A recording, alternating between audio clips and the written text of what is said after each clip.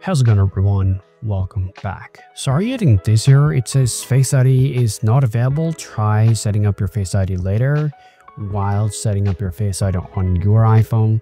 Well, this is one of the serious problems with the Face ID. But in today's video, I'll show you guys some easy way to solve this problem. So let's go.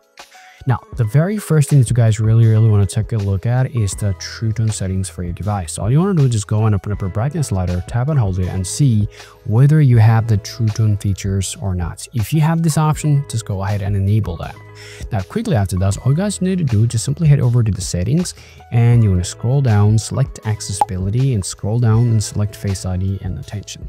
So all you need to do, make sure to enable these uh, two important settings called require attention or face ID and attention aware feature. So if you see these options are already enabled on your iPhone, turn them off and turn them back on again.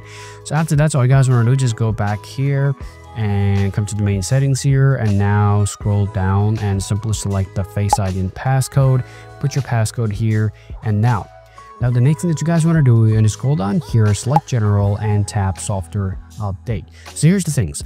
If you have problems with your Face ID right after updating the software, the next upcoming update can actually work. So if you found if there's new software available currently right on your iPhone, just go ahead and update it. Hopefully this will help you to solve your problems. If you found there's no software available whatsoever, all you want to do is just go back here.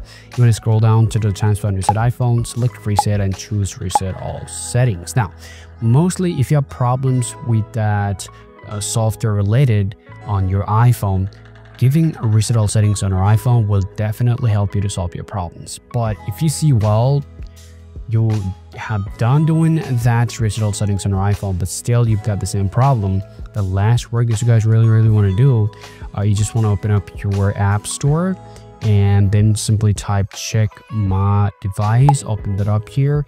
Now simply go ahead and tap on check my device. Just install and open this up here. So all you want to do is just find out this option called face id test. Select that and now if you tap a test begin you can see it's actually testing my sensor and it says my face id sensor is working. Authentication is successful. However if it says face id is not working or if that doesn't work then it could mean you got a problem with the hardware.